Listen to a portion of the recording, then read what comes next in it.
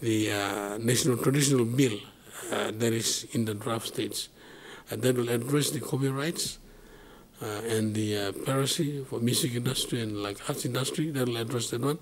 So far we don't have a law in place, so we will come up with a bill uh, for the uh, traditional knowledge bill. So that is at the draft stage. So we will, in a few months' time, we'll have to take to the parliament to pass that as a law. So uh, no Chinese or anyone can put the uh, bilum or kundu on the clothes and commercialize it. Huh? So that those must be protected. So we will uh, take, take that, we will come up with the traditional knowledge bill and it will become a law as well. Uh, we will have to amend the National Capital Act as well, come up with few regulations, uh, I mean uh, laws as well, to address the, and it is a big, big, uh, big industry. So we'll have to need uh, a couple of laws to regulate this industry as well.